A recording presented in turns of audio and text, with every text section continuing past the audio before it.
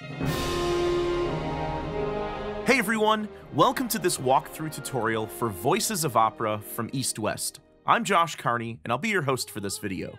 Voices of Opera was produced by Doug Rogers and Nick Phoenix, and it's a virtual instrument featuring the soaring operatic vocals of soprano Larisa Martinez and tenor Carlton Moe. You can use Voices of Opera in a more traditional fashion for composing and arranging concert music and film scoring, and it can even be integrated into modern musical genres, as I'll demonstrate in this video. After selecting Voices of Opera from your libraries, you'll see seven folders. The instrument contains 145 multi-sampled vocal instruments, including expressive phrases and words, realistic legato instruments, staccato sounds, sustained tones, and more. First, let's start with the sustain patches. These contain a variety of sustained vowel tones on a, e, e, o, and u. Let's load up the first patch, soprano a. Down here in white, you can see the playable range of this particular instrument. Each of the sustain patches are velocity sensitive, with three different dynamic layers. So if you play a soft velocity, you get a softer tone with just a little vibrato.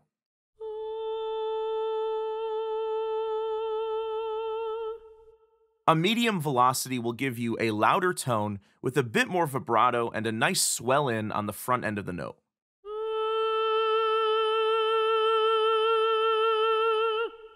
At a high velocity, the swell is gone and the note enters immediately.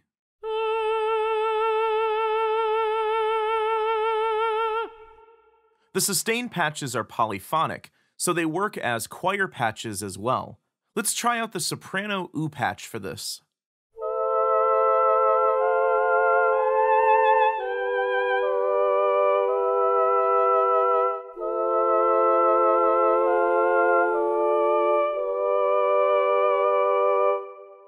Next, let's try out one of the tenor patches. These are velocity layered and polyphonic as well.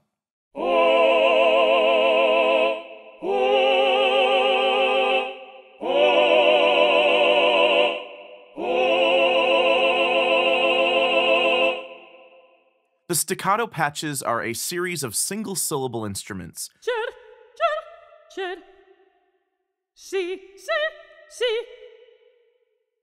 ki, ki. These are velocity sensitive and polyphonic as well. I find these really helpful for adding in percussive group shouts, and as you'll hear in this musical example, it's pretty easy to integrate these operatic voices into electronic music and other modern genres.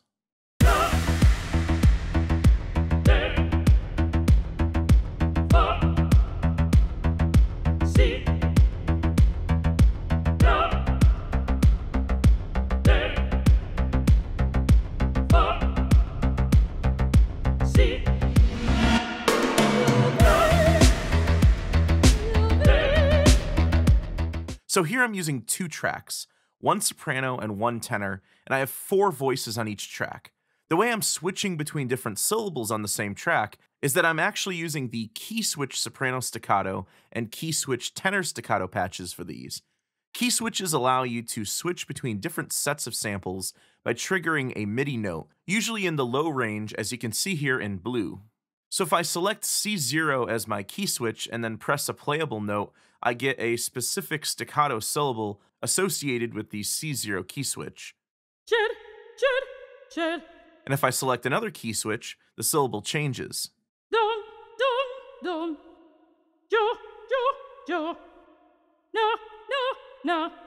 So again, all of the staccato syllables from the staccato folder are programmed into this one key switch patch, and you can switch between them with the key switch pitches. There's several other key switch patches available, and I'll demonstrate them throughout the video as well. But for now, let's go back up here and check out the legato patches. These are monophonic legato patches on a and o syllables, and these are great for moving and gliding between different notes without re-triggering the attack of the note like you would with the sustain or staccato patches. Playing legato essentially means that the notes can be played in a connected fashion. The patches with the mod designation allow you to choose two different dynamics via the modulation wheel. So here's with my modulation wheel down.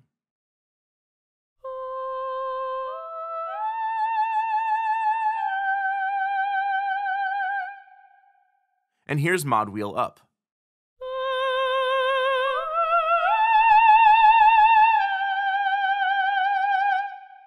And the patches without the mod designation simply use velocity to trigger the two dynamics. In my example, I've used four legato tracks, two soprano and two tenor, all using the ah legato patches, and then I'm using them to create this lush ambient backing choir.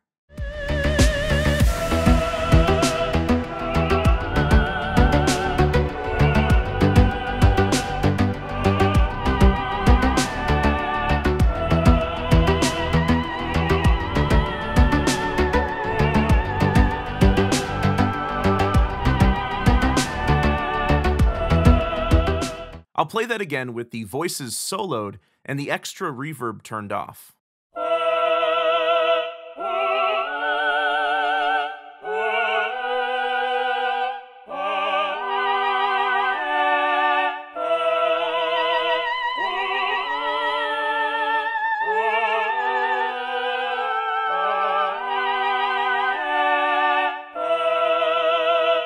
The combo patches combine different syllables and use either the modulation wheel or round robin programming to determine which syllable is played. So if I select the soprano legato mod patch here, modulation wheel down results in the ah syllable.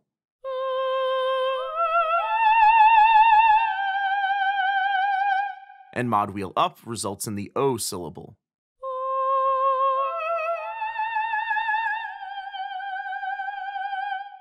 With the sustain mod patches, you can switch between the five different sustain syllables based on the position of the modulation wheel.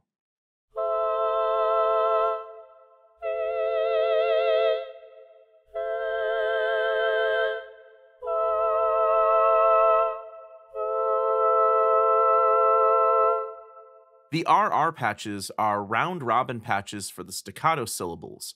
Round robin programming means that a number of sample sets can be alternated during playback. For each staccato combo, there are eight alternating syllables, so you'll get a different syllable with each new note or chord you play.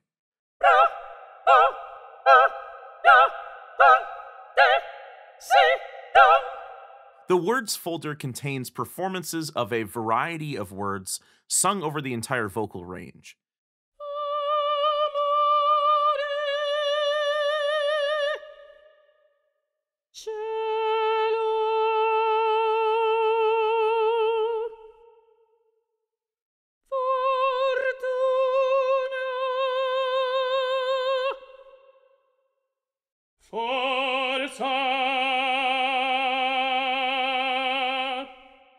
There's a words key switch patch for these as well. So like before, the blue notes are the key switch notes, which allow you to switch between the different words, and then the white keys are the playable notes.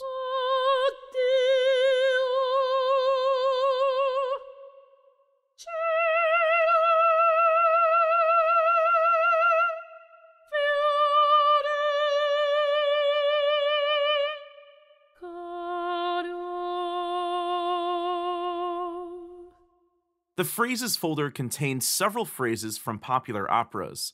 Each are recorded in multiple transpositions, and the pink note shows you the key that the phrase was originally intended to be performed in.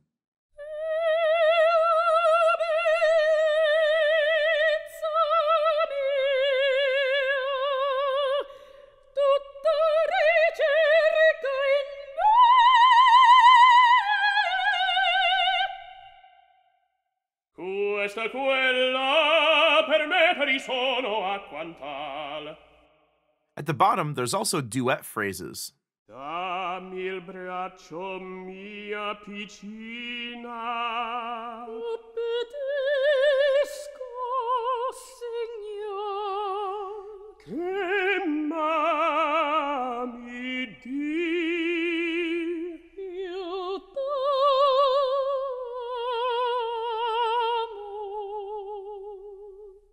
In my example, I used three different phrases.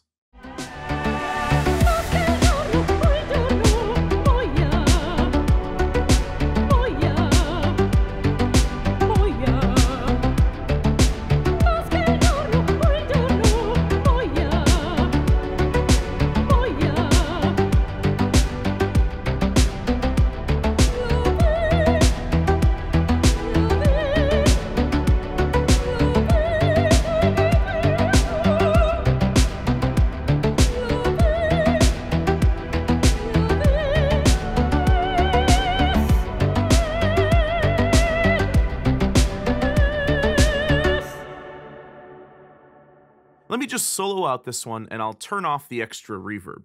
One really interesting thing about these phrase instruments is that you can control where the phrase starts with the modulation wheel. So as you can see here, I've written in some mod wheel automation. With the mod wheel all the way down, the phrase starts at the beginning.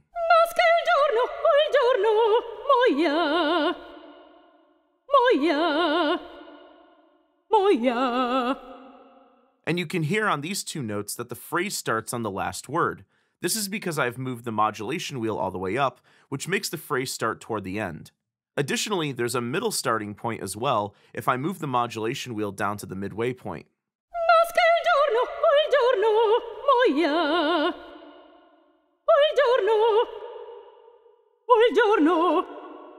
Let's revisit the key switch folder for a bit.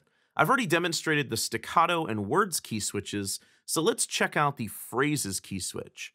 These have all of the phrases loaded up for soprano, tenor, and there's even a duet key switch patch. With these, the blue key switches allow you to switch between different phrases, and again, the white keys are the playable range, and the original key of the phrase is shown in pink. With this, you can quickly mix and match different phrases. And lastly, the sustain key switch patches allow you to switch between the five different syllables in the sustain folder. So these are great if you want to be able to switch between different syllables all on the same track.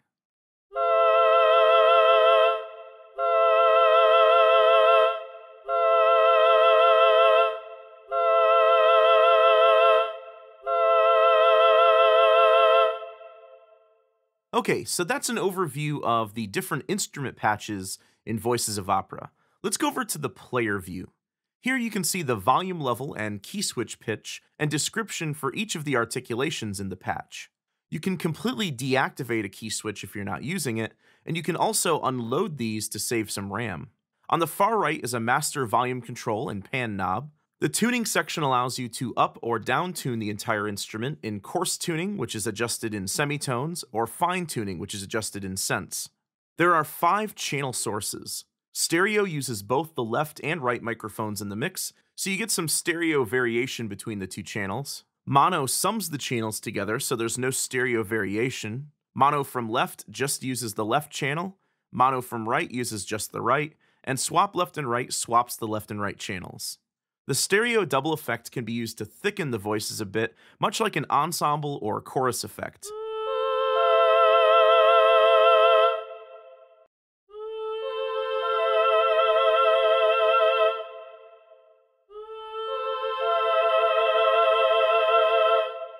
And there are several different reverb types to pick from. Let's try something a bit more ambient, like this choral hall.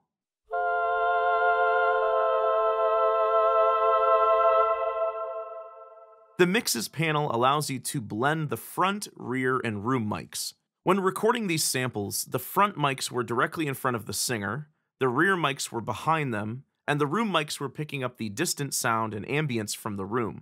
I'll temporarily turn off the reverb to demonstrate these. So if you want a drier, more direct sound, you can pull down the rear and room mics. If you want a more open, live sound, you can pull up the room mics.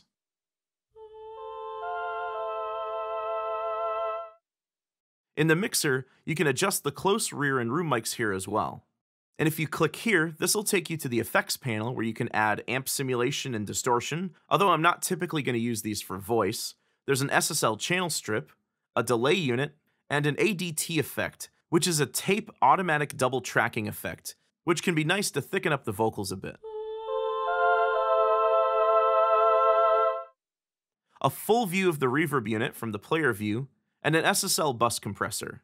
So that's Voices of Opera. It's an incredible collection of soaring, emotive, operatic voice instruments. It's an amazing tool for traditional concert music composition and arrangement, film scoring, and even for integrating with modern musical genres.